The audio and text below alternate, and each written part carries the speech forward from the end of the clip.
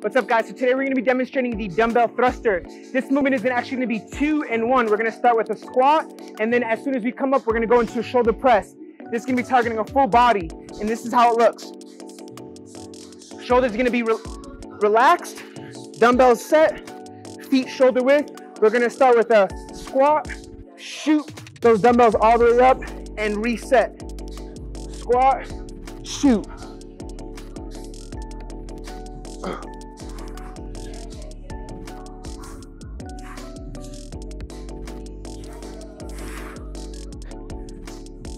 And that is the dumbbell thruster.